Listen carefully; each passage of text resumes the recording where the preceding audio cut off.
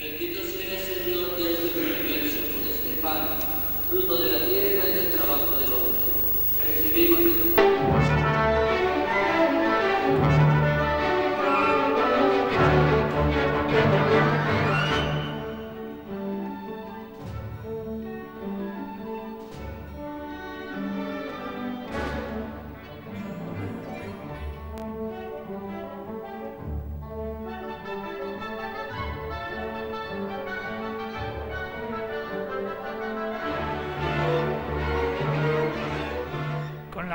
de la Virgen por la puerta de palacio de la parroquia de Nuestra Señora de Armentera, pasada las 9.30 de la mañana a hombro de los romeros, se iniciaban los actos que con motivo de la despedida de la Virgen de Belén tuvieron lugar el pasado 10 de octubre.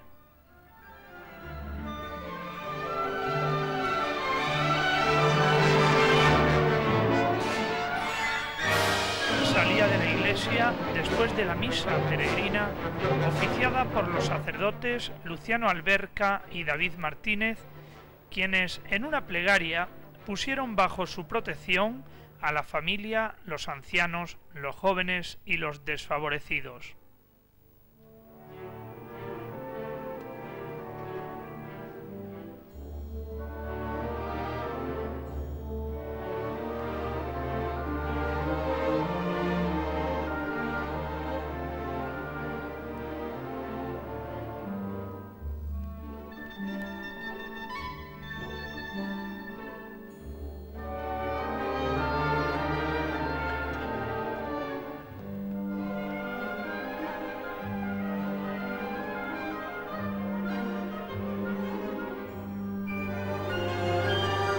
La del domingo fue una de las despedidas a la Virgen de Belén más multitudinarias de las que se recuerdan en los últimos 10 o 12 años.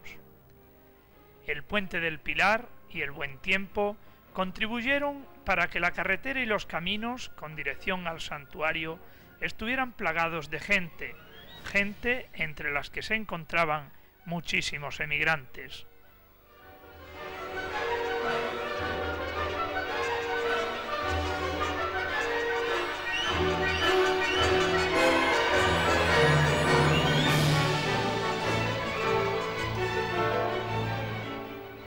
Estas imágenes corresponden a la llegada de la Virgen de Belén a la Plaza de la Fuente, donde, como vemos, era esperada por numerosísimo público.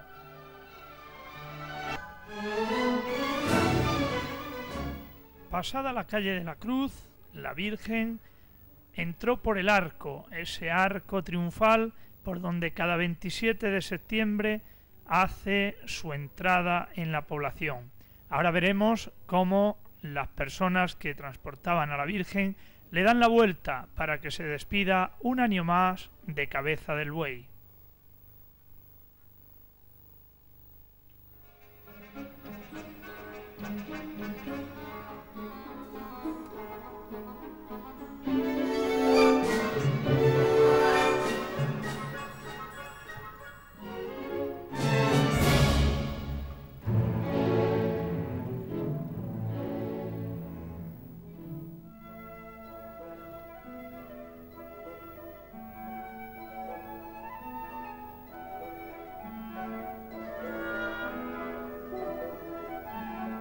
Viendo estas imágenes, podemos recordar cómo a las 21.30 horas del día 29 de septiembre se producía la entrada triunfal en la población con miles de personas esperando en las calles y plazas. La banda municipal de música abría esa procesión y un espectáculo de fuegos artificiales que es muy habitual en esas fechas ponía las notas de color y sonido a una noche tan especial.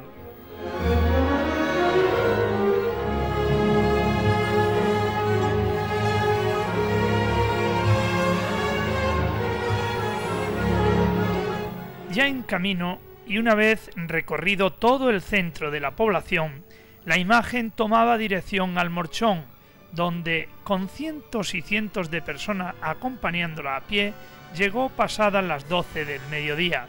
Esa es la cuesta de la Loma y ahí podemos ver el numerosísimo público que acompañaba a la imagen en este año 1999.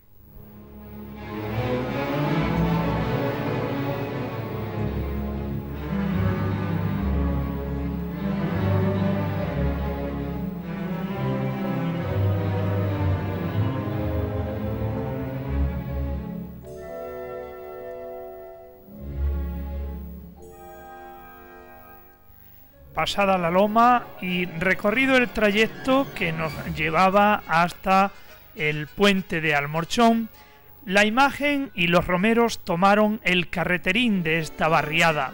Continuaba el mismo público, sino más. Vemos personas mayores y gente sobre todo muy joven que en este año ha decidido acompañar a la patrona.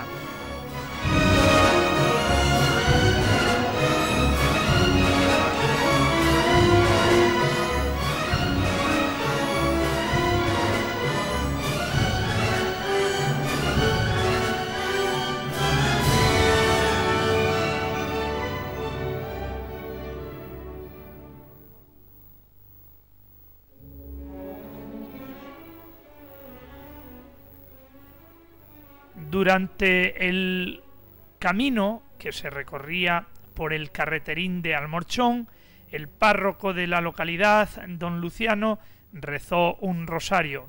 Posteriormente diría la misa en la iglesia de Almorchón, a la que por cierto le hace falta una poquita de rehabilitación.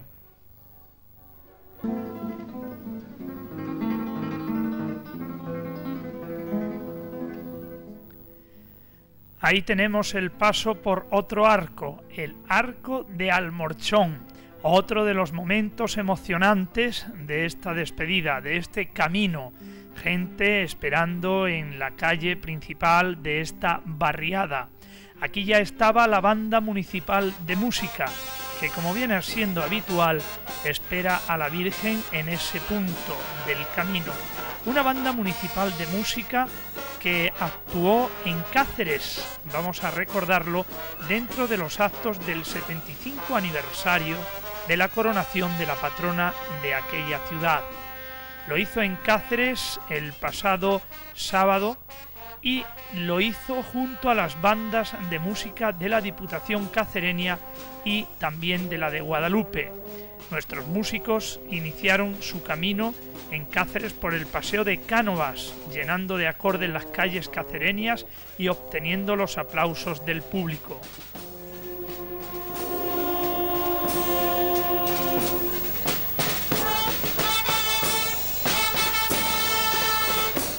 Y ya que estamos eh, viendo a la banda municipal de Cabeza del Buey, vamos a recordar brevemente algunas de las actuaciones que han llevado a cabo durante la temporada. Han sido 14 desplazamientos a distintos pueblos y ciudades españolas.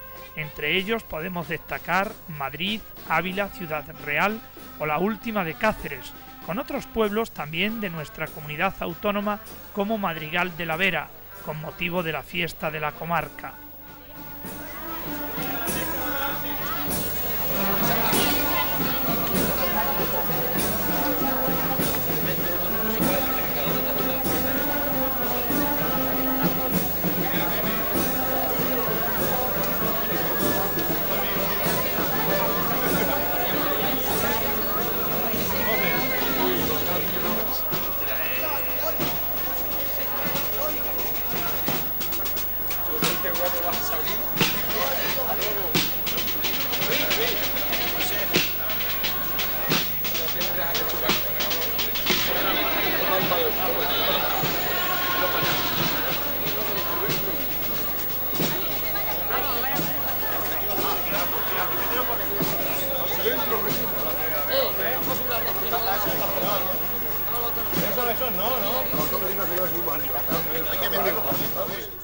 Aunque tenemos pocos datos y ahora que tenemos un plano de cerca de la imagen de la patrona, tenemos que decir que la patrona ha lucido en la entrada y en la despedida dos mantos distintos, dos mantos que han sido regalados por hijos del pueblo cuyos nombres no quieren que se hagan públicos.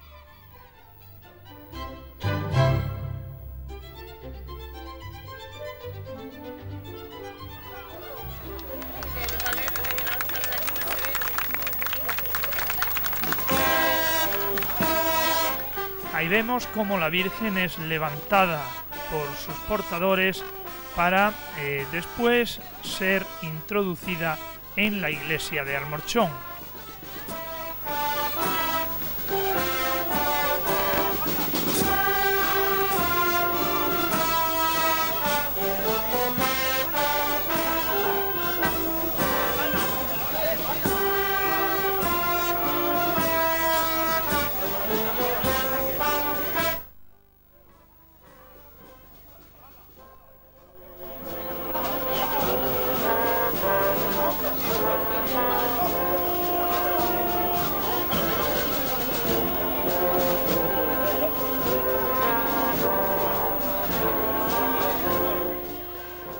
Estos actos religiosos se estaba cerrando el programa oficial de las ferias y fiestas de San Miguel 1999 en el último año de este siglo, un año que quedará grabado en la memoria de nosotros, los caputbovenses, por el tiempo tan excepcional que nos ha acompañado durante la feria de San Miguel, tiempo que ha hecho posible que ni siquiera uno de los actos programados haya tenido que ser suspendido.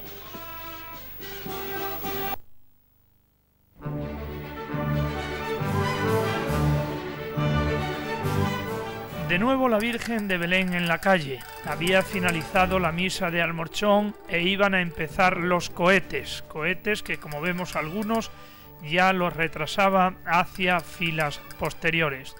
Unos cohetes siempre eh, dirigidos por el amigo Julio, a quien vemos allí encendiendo sus mechas.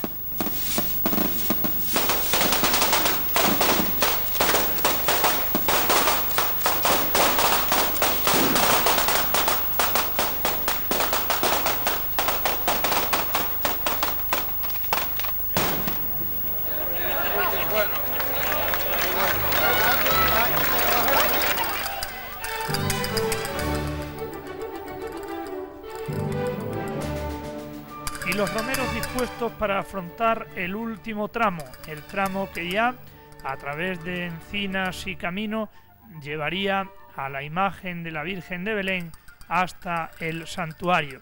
Se tardó muchísimo en cruzar al Morchón, pero la ocasión lo requería, puesto que no eh, todos los años la cantidad de migrantes que asistió a esta despedida ha tenido la oportunidad de estar presente en la misma.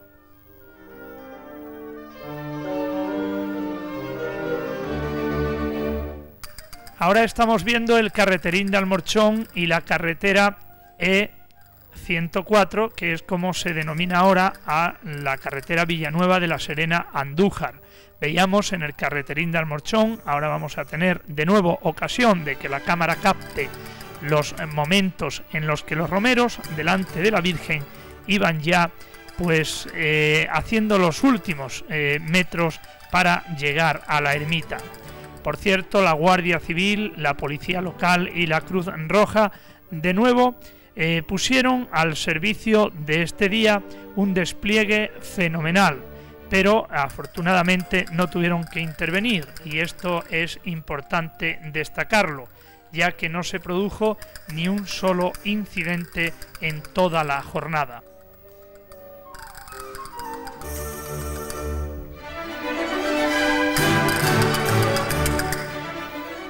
Quizás sea el trozo de camino más bello de todos y es cuando vemos eh, a los romeros, a la Virgen por mitad del campo, entre encinas y entre la tierra, esa tierra de la salida de Almorchón. Es lo más típico, es de lo más bonito que se pudo apreciar ese día, aunque evidentemente todo lo, eh, lo viene siendo y lo va a ser hasta que finalicemos el vídeo, pero eh, bien cierto es que estas imágenes son preciosas, por mitad del campo, entre medio de encinas, la Virgen acompañada de toda esa cantidad de gente.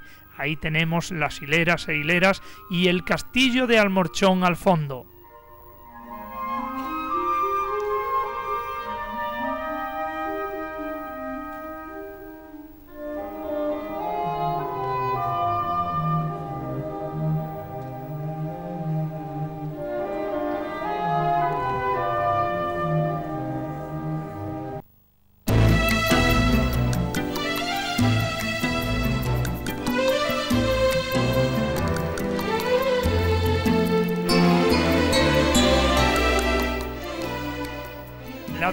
De la Virgen se convirtió en una gran romería.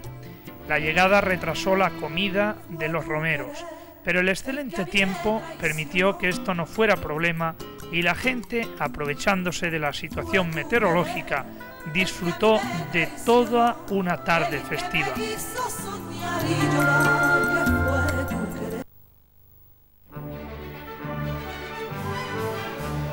Y ahí tenemos el final del camino, la llegada al santuario. De nuevo la banda de música con sus acordes esperaba a la patrona, y la patrona se iba hasta esa piedra donde es eh, instalada por los romeros para después dar la tradicional vuelta a la ermita entre las coplas, esas coplas que a coro sobre todo las mujeres interpretan.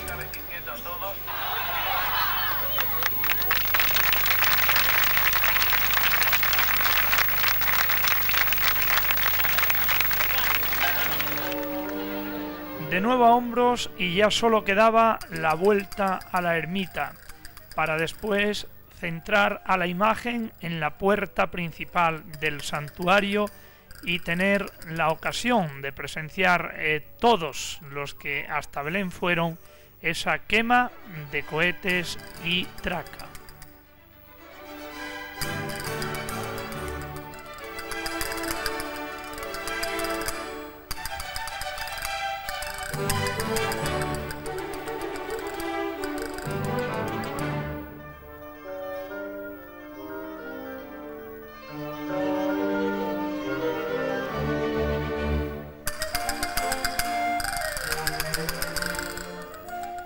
Preciosas imágenes en un precioso día de fiesta.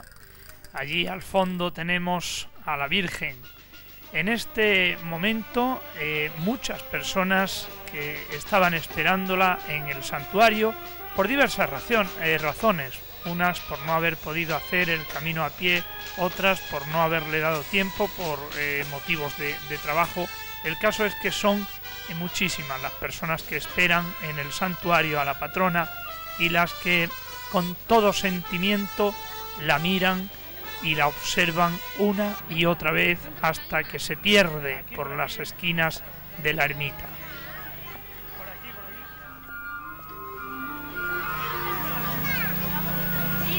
Otra vez. Vaya empezado, habéis acabado.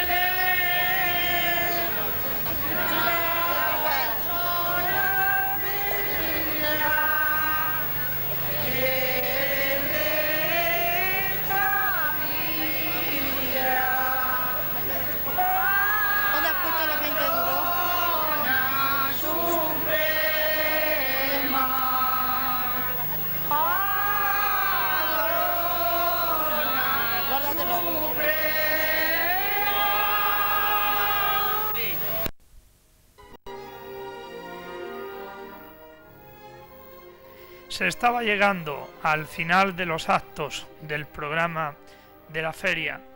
Un programa, el de 1999, que ha sido el más largo de esta década. Lo han compuesto un total de 8 días y 39 actos de los más variados.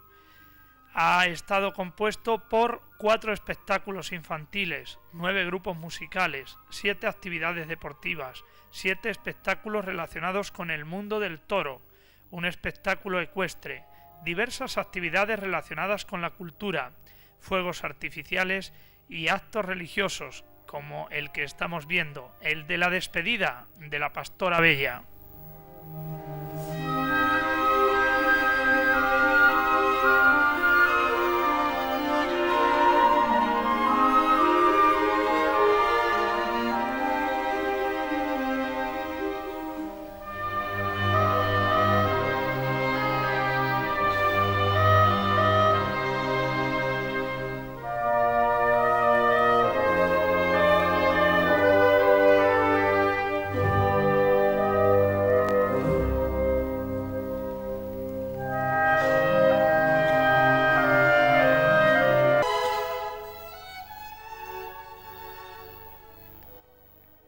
Ahí tenemos, o vamos a ver aparecer mejor, ahí lo tenemos ya, al amigo Julio, encargado de los cohetes y de la traca, que va a poner ese espectáculo breve de fuegos artificiales para ya mm, despedir a la Virgen y a los romeros antes de que ésta entre por la puerta principal del santuario. Y esa mano que tenemos a la izquierda corresponde a Pablo Murillo, que pedía una y otra vez que se centrase a la Virgen en la puerta del patio para de esa manera facilitarnos la labor a Emilio y al que os habla de la manera que todo saliese de la mejor forma posible, levantando mm, una de las últimas veces a la patrona de cabeza del buey sus portadores, portadores que muchos de ellos eh, siguen fiel a la tradición de traer a la Virgen. Estos son ya los cohetes que anuncian que la Virgen va a entrar en la ermita.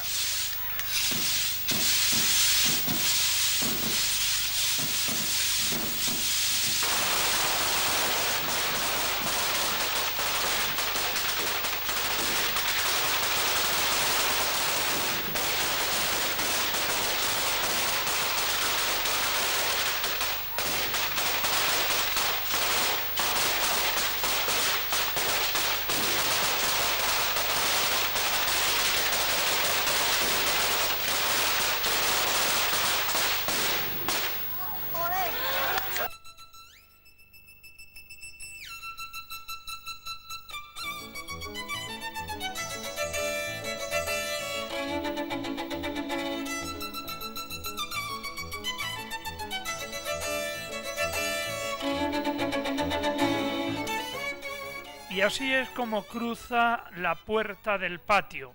Los romeros, por tanto, llegan al final, ahora sí que llegan al final de su camino. Y el director de la banda de música, Francisco Martín Sosa, que mm, antes, unos instantes solo antes de entrar la Virgen, le va a dedicar un solo de trompeta.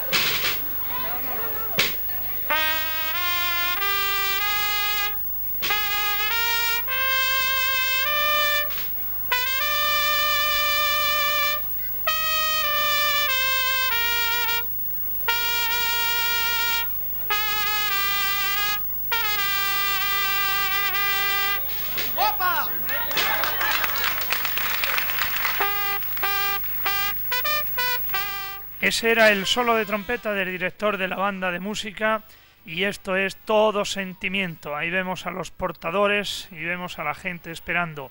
Vamos con esos gritos que ponen la carne de gallina en los instantes antes de pasar por la puerta principal. Que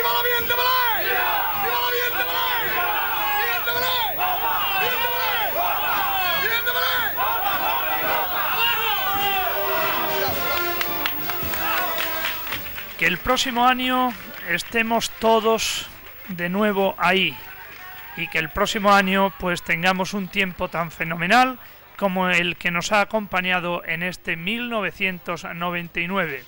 Yo creo que no tenemos nada que pedir. Ha sido todo. Esperemos que le haya gustado nuestro trabajo. Gracias por la atención que nos han prestado y hasta una nueva conexión con este tipo de actos.